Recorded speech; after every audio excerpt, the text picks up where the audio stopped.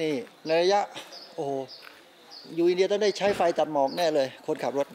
อยู่เมืองไทยไม่ค่อยจะมี นี่อยู่ในรัฐพิหารวัดไทย วัดไทยเวสาลีไวยคันนี้เขียวไวยสาลี หรือไพสาลีเวสาลีได้หมดแหละไทยไปเพี้ยนเอาเพี้ยนเอาภาษาไพสาลีไวยสาลีได้